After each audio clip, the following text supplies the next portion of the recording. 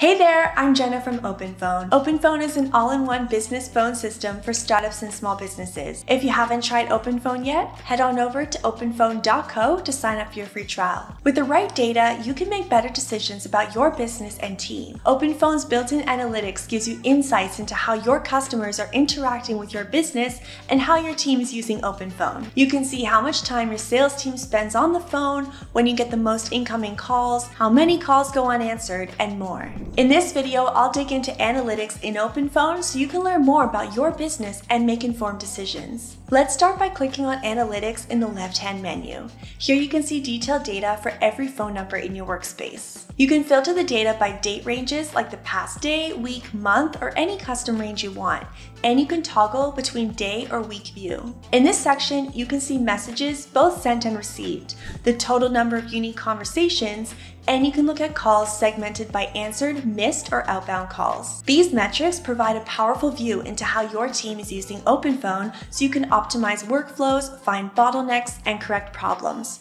For example, if your team is constantly missing calls on a specific day, that might indicate a staffing or scheduling issue. Just below the overview section, you'll find the activity log by user, which lets you review how active specific teammates are on OpenPhone. This is another important section for optimizing how your team communicates communicates with customers. You can quickly see when your team members are most active on OpenPhone to uncover workload problems or other issues. The last section is a heat map of activities by the time of day. At OpenPhone, we use the heat map to help make sure we have support agents available when our customers are reaching out to us most. Reviewing the heat map over different time periods can reveal changes in communication volume and what times your customers most frequently contact your business. All your analytics data can be exported so you can share or drop it into a spreadsheet for further review. To do this, click Export up top to get a CSV file. Not seeing analytics in your account? OpenPhone Analytics are available on our premium plan. It starts at $25 per user per month and also includes call transfer,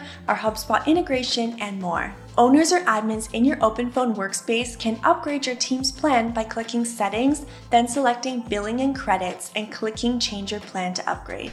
That's all for now on analytics. Don't have OpenPhone yet? Sign up and try it for free today. Thanks for watching, and I'll see you next time.